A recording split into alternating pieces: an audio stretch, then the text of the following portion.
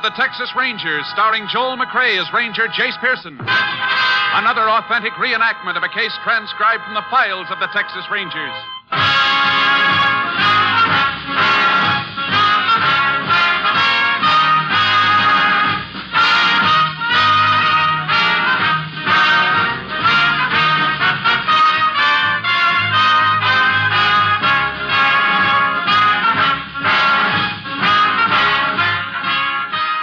Dates, and places in the following story are fictitious for obvious reasons. The events themselves are a matter of record.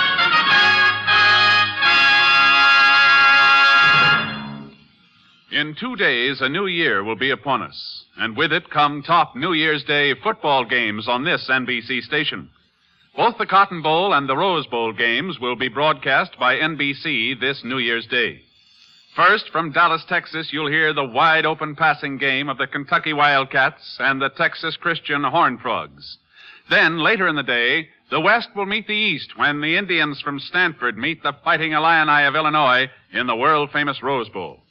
Tuesday's broadcast from the Rose Bowl in Pasadena will mark the 26th year this football classic has been aired coast to coast. As usual on NBC, you'll hear every thrilling play expertly called as the Stanford Indians, led by their coach of the year, Chuck Taylor, clash with Ray Elliott's men from Illinois. Make your New Year's Day more enjoyable by listening to both the Cotton Bowl and the Rose Bowl football games on this station of the NBC Radio Network.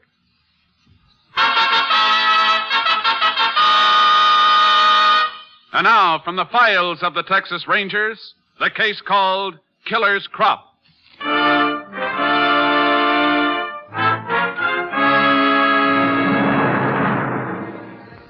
It is 10:35 p.m. April 16th, 1947. A black coupe is driving west on a deserted highway 20 miles from San Antonio, Texas. Inside the coupe, the girl glances nervously at the driver. Meeker, Yeah? what's this all about?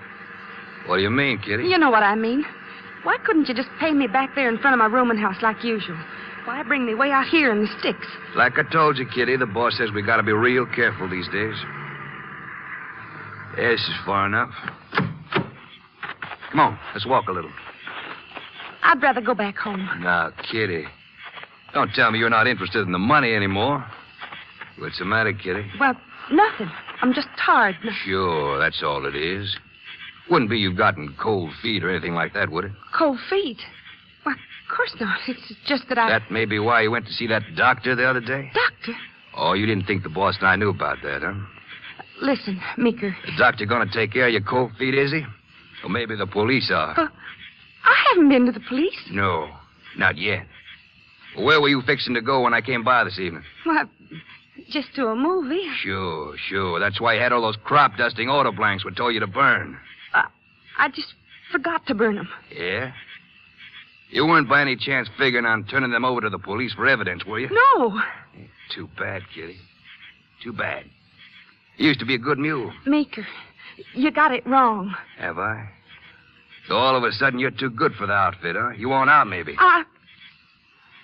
All right. All right. I'm sick of the whole rotten, filthy mess. Look at me. Look at the wreck that stuff made out of me, and I've been helping make wrecks out of other people. Well, I'm through. I'm getting out. My, my, my, isn't she an angel all of a sudden? No, not by a long shot. But maybe someday, with help, I can get over it. You want to tell that to the boss? You, you think I'm afraid to say it to him, huh? Okay, take me to him. You know something? I already did. What? Standing right there in the bushes behind you.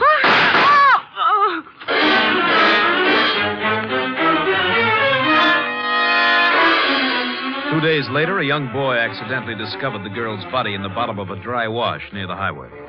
The sheriff was notified and requested help from the Texas Rangers. Ranger Jace Pearson was assigned. Nothing's been moved, Jace. Good. Here we are. Yeah. Shot from close range, looks like. Uh huh. Pretty young, isn't she? Sure is. Any identification on her? Purse had been emptied. But see the ring on her finger? Yeah. Class ring. According to it, she graduated from Ransford High School four years ago. Well, we should be able to get an identification from the school records then. I. What is it, Jace? Sheriff. Take a look here. On her left forearm, near the crook of the elbow. Hmm. Tiny scars. Quite a few of them, Chase. What does that spell to you, Sheriff? Narcotics addict? Things like this make me sick at my stomach. So young. 21, 22. Look at her. Look where it led her. Same place it leads all of them sooner or later. Yeah. Only with her, it came a little faster. Somebody was supplying her with the stuff, Jace. I know. That's why I'm taking a special interest in this case, Sheriff. Somewhere along the line, we gotta dig that rat, whoever he is, out of his hole.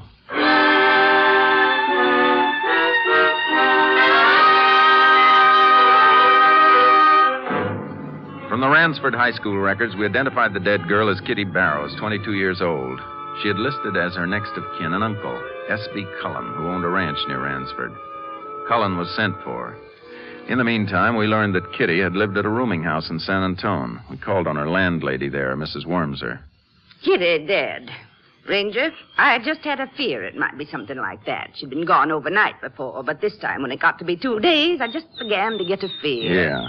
Uh, Mrs. Wormser, where did Kitty work? Work? Well, I'm not sure she did. Oh? At least I don't know what kind of a job you could hold down, being out all hours and sleeping all morning like she used to. I see. Always was a mystery to me where she got her money. But I'm one that believes in minding my own business. But she did seem to have quite a little money. Sheriff, these days, to dress the way she did and drive that flashy yellow convertible around, you don't do that on nothing. Yellow convertible. Yes. Still parked out back. Well, we want to take a look at that. You say she went out at night frequently, Mrs. Wormser? Well, there were several boys I had dates with her. Never saw any of them more than once. And then there was one that was with her several times. You know his name? No. Can you describe him? Well, I'd say he was in his late twenties, maybe thirty. About your height, Sheriff. Anything else? No. Except he always wore a leather jacket. I'm afraid that's not very much to go on, ma'am. Well, it's about the best I can do. I always believe in minding Yeah, my... I know. Say, Well, uh- come to think of it, there was something else. Something about his face. What do you mean? Well, his skin seemed like it was stretched kind of tight across his cheeks, so when he smiled, it stretched even tighter. Made the smile look kind of painful, like it hurt him too. I see. Well, thank you very much, Miss Wormser. If there's anything else, we'll contact you again. Sure, Ranger. Sure hope you catch whoever did it. So do we, ma'am. Apparently, Kitty was a little on the wild side. Had quite a few casual dates. A thing like that could be tough to run down. At least we've got a lead on one of her dates. Fellow in the leather jacket who looks like it hurts him to smile. Uh huh. Pronounced facial characteristic like that can be a big help in making identification. Yeah, but even so, it's not too much to go on. I know. Sheriff, one of two things. Either Kitty was killed by one of those casual dates, in which case it will be tough, or else her killing stems from something else. The narcotic angle? Yeah, she was an addict. She didn't have a job, yet she wore flashy clothes and drove a convertible. Where was she getting her money? I can think of one place. From peddling narcotics or running them. I'll have the lab give her car a good going over. If she was using it to transport narcotics, they'll be able to tell us.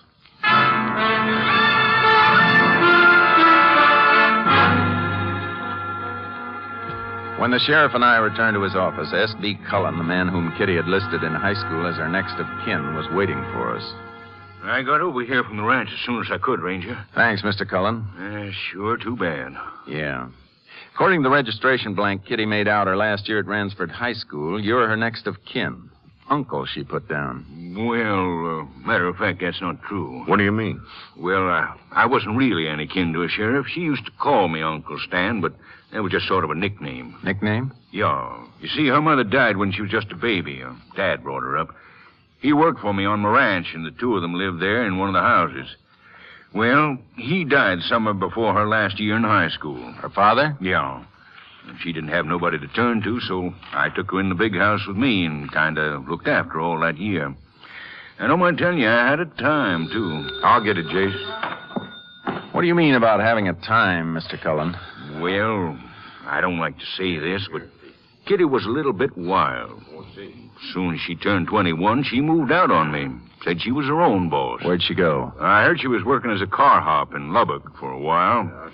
She showed up at the ranch once or twice, and hit me for a little money, and then I sort of lost track of her. Mr. Cullen, did you know that Kitty was addicted to narcotics? What? That's right. Well, no, I sure didn't. Why, that's terrible. It sure is. You know, one contributing cause for young people drifting into that is lack of supervision at home. Ranger, maybe I wasn't taking the place of her parents very good, but I, I was sure trying. It just seemed like she wouldn't let me. And then when she turned 21, well, what could I do? Yeah. Jace, Yes, Sheriff. That'll be all, Mr. Cullen. All right. Oh, uh, Sir Ranger, Huh? I was just wondering. Uh, I'd like to arrange for Kitty to have a decent burial. Uh, I know it's not much. but- Yeah, it, it can be arranged. Uh, thanks, Ranger. Thanks. What is it, Sheriff? your boss just telephoned. Captain Stinson? Yeah, said the lab reports had been sent to his office. Good. I'll get up there right away and see if they've turned up any leads for us.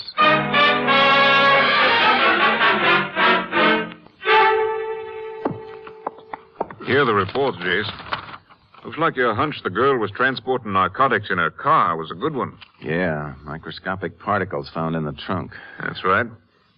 I found something else, too. In the tread of the tires. Quite a bit of insecticide. Insecticide? The kind they use for spraying crops. Hmm. I wonder where. Hey, wait. What's this? Little scrap of Mexican newspaper. They found it in one corner of the auto trunk. It's got a lot of the powder on it. Could have been used to wrap the stuff. Mm-hmm. As you can see, there's a little of the paper's name shown at the top. Just four letters E N D O. Either part of the paper's name or the town where it's published. Mexico. I wonder if that's where the stuff came from. It's a chance, although you know how thorough the Border Patrol has been. Yeah. You got anything else, Captain? One thing more. Something that hits me kind of hard. What is it? We located a doctor who told us Kitty had planned to enter a sanatorium for treatment. What? Say, that could peg the reason for her murder. If she was running this stuff and decided to take treatments for her own addiction, that means she was probably trying to pull herself out of the mess. Whoever she was working for could have found out about it. Could have been afraid she'd turn them in. So they killed her to shut her mouth. It's a rotten business, Jace. And as far as I'm concerned, this is the most important case we've got. I feel the same way, Captain. We find who Kitty was working for, and we've got her killer. And right now, looks like the trail leads into Mexico.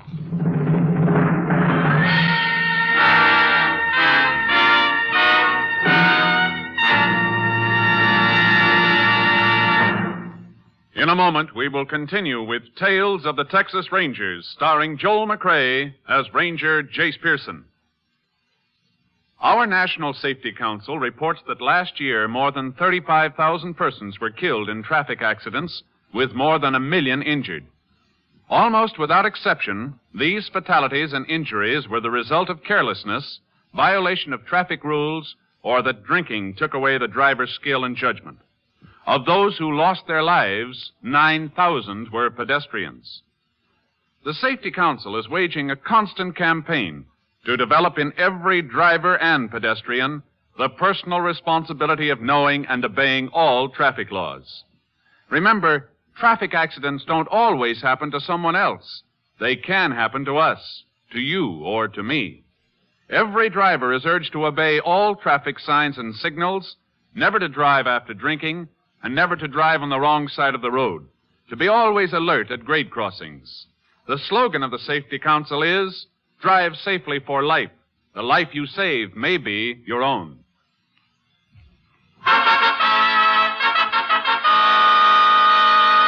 We continue now with Tales of the Texas Rangers and our authentic story, Killer's Crop.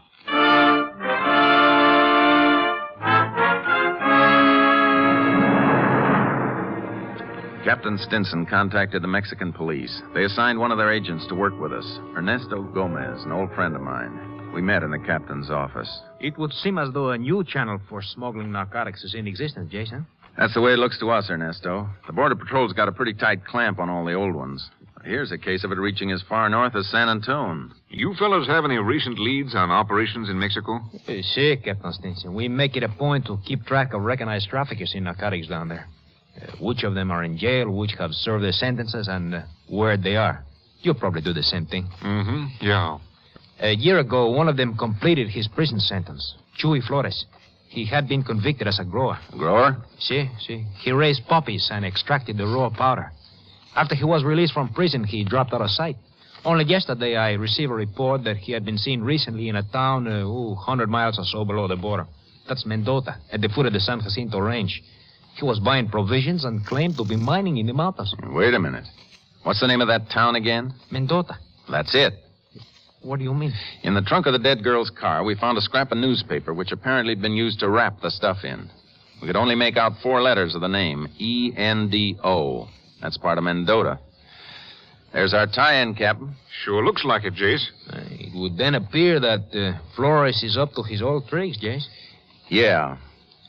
Ernesto, I think we better take a little trip in the Ranger plane over the San Jacinto Range. See if we can find out where those tricks of his are.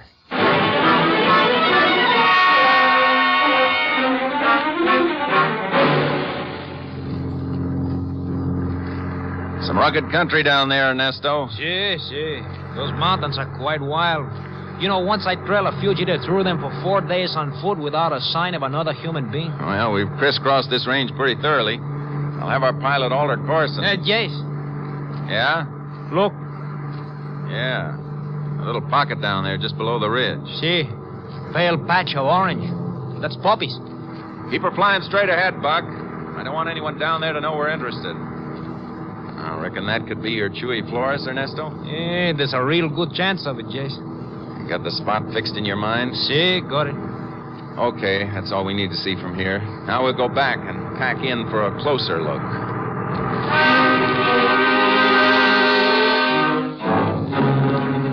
The Ranger plane landed at Mendota. There we outfitted and started back into the San Jacinto Range on horseback. Portable radio transmitter was included in our equipment. Several hours' ride up through the bleak foothills brought us close to the area we'd spotted from the plane. Hey, the pocket should be just over that ridge ahead of us, Jason. Yeah. Well, we better leave the horses here. Woo, woo, Chuck. Oh, oh, We can tie them in this clump of scrub. oh. See, they should be sufficiently hidden here, I think. Okay, let's go. We'll work our way up the top of the ridge here. Bueno, there's plenty of cover along the top. Yeah. Okay, we better keep down and take advantage of this brush. Yes, See. Is this good, Jason? Yeah. Well, there it is, all right. See, right below us, the patch of poppies. huh? A little hut there at the edge of the clearing. Look, a man near the door. Uh, just let me get my binoculars on him. Chuy Flores. Your hunch about him was right, looks like. Well, Chuy Flores at this end and maybe the dead girl at the other. See, the question is, who is the tie-up between them? We're going to roost right here until somebody shows up to pick up some of that stuff.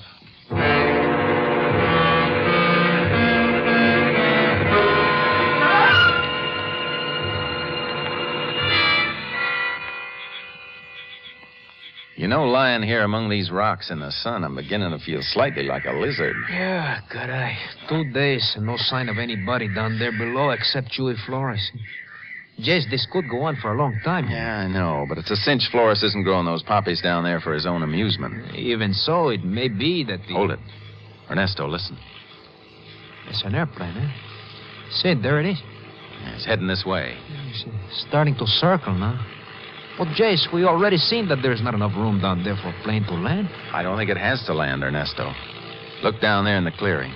Flores has hoisted a couple of poles out of the brush. Ah, and a rope stretched between them. A package dangling from the center of the rope. Ah, it's a flying pickup. Yeah. Yeah, he's starting his dive. We'd have to fly very close to the ground. Now he's flattening out, see? There's a hook dangling from the plane. Ah, he's making a pass at it now. Hooked it. He, he's a very skillful pilot, huh? Get down. He's climbing out this way. Hey, did you make out that number on the underside of his wing? I could get only the first part of it. NC45 something, huh? Yeah. With what I noticed, I think that's enough. What you notice, Jace? Looks like a crop dusting plane to me, Ernesto. You mean the kind which sprays the crops in the fields? Yeah, that explains why he's so good at low flying. It also could explain the insecticide in the tire tread of Kitty's convertible. See, see. Yeah. Flores here, the pilot in the middle, the dead girl at the other end. You think that the pilot is the boss of the operation? I don't know. To get an answer to that, first, we gotta find the pilot.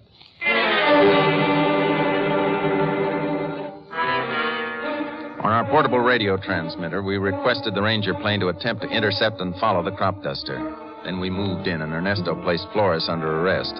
By the time I reached the border and called Captain Stinson, he had some information for me. Oh, Our plane intercepted the crop dusting plane, all right, Jace. Stayed far enough away so as not to arouse suspicion. Tag him all the way to his airport? Lost him for a few minutes, and then spotted him again, landing at the Tri City airport. We checked and learned it's a one man outfit called the Meeker Crop Dusting Service. Is the plane at the airport now? Yeah. Sheriff Phillips is over there keeping an eye on it. Thanks a lot, Captain. I'll get over there right now.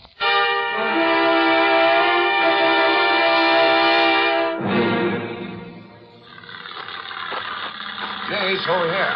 Yeah, Sheriff. I'm setting up headquarters here behind this shed for the time being. See that little hangar off there by itself? Yeah, Meeker Crop Dusting Service. Captain Stinson said it was a one man outfit. Uh huh. Meeker's a pilot. Is he in that hangar now? Yeah, working on his plane. Boys in the control tower told me he mentioned a faulty fuel pump to them when he came in. You mean he's been right there with his plane ever since he landed? According to them, he has. That puts us in luck, Jace. If he's the boy that picked up that package below the border, then it should be somewhere in that plane or hangar. Yeah, I. Hey, Man coming out of the hangar. Must be Meeker. uh, heading for the coffee shop, looks like. Sheriff, you get a good look at him? I sure did, Jace. Skin stretched tight across his face. You can't miss it. That's the guy Kitty's landlady told us about. The one she saw Kitty with several times. Yeah. Well, it's all beginning to slide into place, Jace. It sure looks that way. Come on, we need that package for evidence. And now's a good time to get it. While Meeker was in the coffee shop, the sheriff and I searched the plane and the small office in the corner of the hangar. And we were unable to find the package. I don't get it, Jace. We know Meeker picked it up below the border on the fly. Well, maybe that's just the way he unloaded, Sheriff. On the fly. What do you mean? Look, Meek could be taking a big chance coming into land with that package aboard, always facing the chance there'd be a tip on him and a search. Yeah, but wait. You figure he dropped it somewhere before it landed. Could be. But where? It seems to me it'd be just as risky dropping it in the same place each time as it would landing here with it. But suppose it's a different place each time. Different places. I don't. Hey, wait a minute. Meeker's a crop duster. Sure. And what we see in his office there. Crop dusting orders. Right. Let's take a look at those orders again.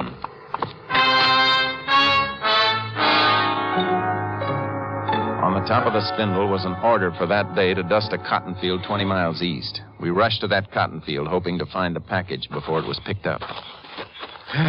It's more walking than I've done for quite a spell. Yeah, well, we've already walked our way around two thirds of the field, But we've been sticking to the edges, Jace. For all we know, that package you picked up in Mexico could have been dropped plumb in the middle of the field. Maybe, but I doubt it, Sheriff. I think they'd want to keep it as close to the roads as possible so their runner could drive up close and pick it up instead of walking right through the field. Well, sounds logical, but I Hey. Sheriff, look over there. A package? The package. Just about 20 feet in from the road. Sure. That accounts for the insecticide in the tread of Kitty's tires. She'd drive up alongside whichever field Meeker had sprayed that day and hunt around till she found the package, just in from the edge. Uh-huh. Well, what now, Jace? And now we wait around and find out who's taking Kitty's place.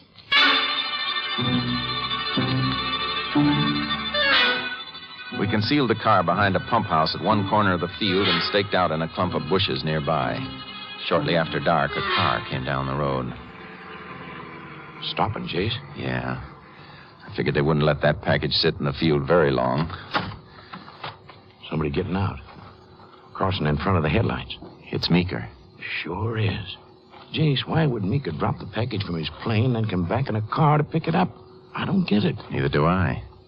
He's got the package all right. Getting back in the car. Okay, we'll give him a lead, then tail him with our lights low. See where he takes that package.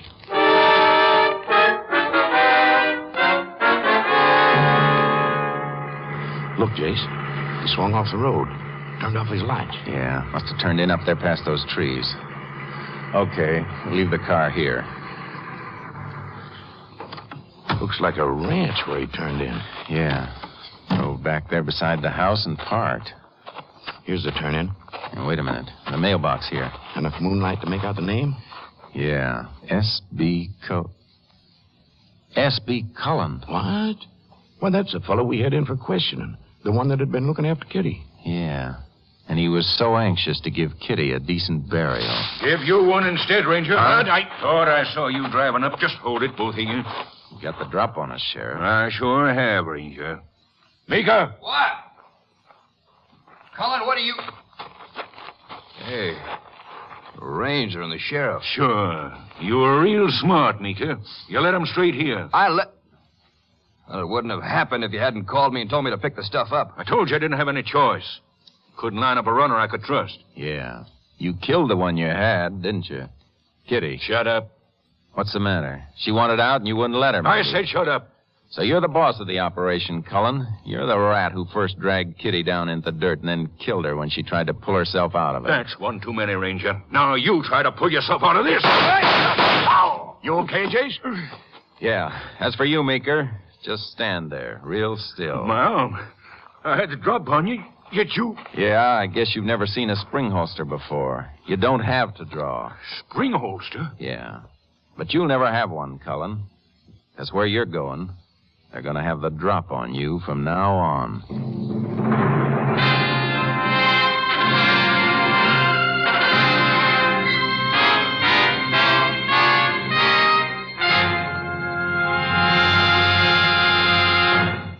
In just a moment, we will tell you the results of the case you have just heard. Here's another last minute reminder to make your plans now to enjoy both the Cotton Bowl and Rose Bowl football games Tuesday on this station. In Dallas, Texas, at the famed Cotton Bowl, the Wildcats of Kentucky, led by their All American quarterback, Vito Parilli, will meet the wide open passing attack of Dutch Meyer's Texas Christian Horned Frogs. And as usual, NBC will switch to Pasadena, California at the conclusion of the Kentucky Texas Christian Grid Battle to bring you the color of the Tournament of Roses and the exciting Stanford, Illinois football game. The Rose Bowl will be playing host to Coach of the Year Chuck Taylor's Stanford Indians and Ray Elliott's Fighting Illini from Champaign, Illinois. Arrange a football party at your home and enjoy a full day of the country's finest grid clashes. Broadcast direct to you by NBC from both the Cotton Bowl and the Rose Bowl Tuesday, New Year's Day. On this station of the NBC Radio Network.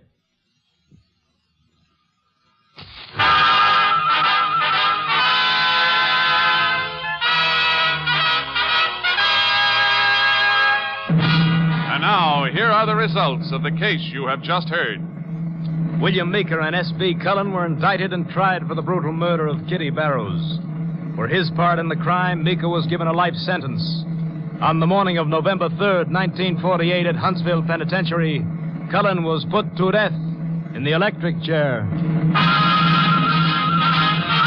Next week, Joel McCrea in another authentic reenactment of a case from the files of the Texas Rangers.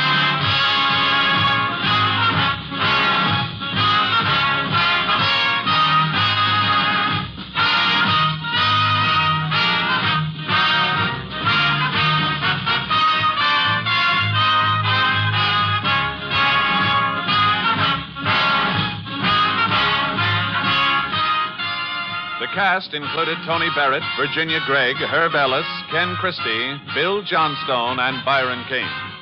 Technical advisor was Captain M.T. Lone Wolf Gonzaullas of the Texas Rangers. This story was transcribed and adapted by Bob Reif, and the program was produced and directed by Stacy Keach. This is Hal Gibney speaking.